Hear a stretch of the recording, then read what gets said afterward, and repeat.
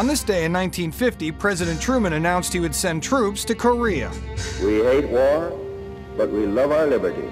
We will not see them destroyed.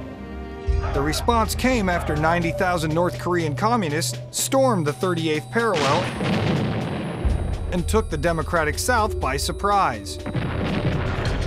To avoid provoking North Korea's allies, Russia and China, the U.S. did not call their invasion a war, but a police action.